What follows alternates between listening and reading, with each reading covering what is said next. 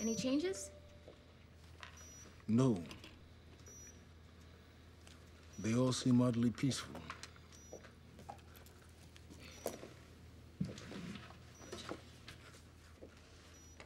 Do you really think it's possible to upload a person's consciousness to a computer? I don't know.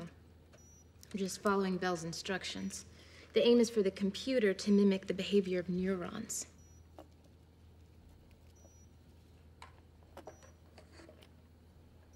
Never understood why Walter was so drawn to licorice.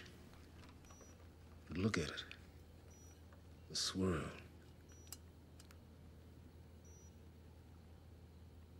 It's Bernini's spiral altered St. Peter's. It doesn't end. Did you clean that up? Yeah, I thought I'd help you clear the table.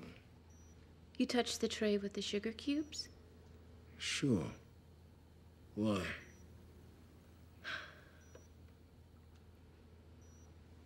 Have you ever taken LSD?